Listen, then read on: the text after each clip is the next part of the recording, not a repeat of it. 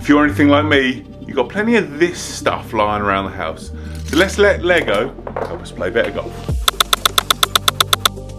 Simple gate made of Lego. If you want to make it any easier for yourself, you can make the gate a little wider. That'll make the gap much, much bigger for you. But let's make a really difficult one. So put the gate nicely on your start line.